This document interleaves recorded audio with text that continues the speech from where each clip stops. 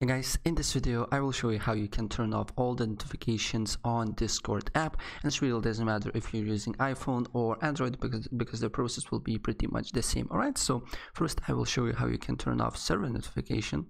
So of course select the server that you want to mute and then as you can see here once you select the server there is on the top right three, uh, three little dots you need to press on these and then as you can see here there's notifications and as you can see here uh, on the server notification settings just press nothing and uh, press and toggle down mobile mobile push notifications.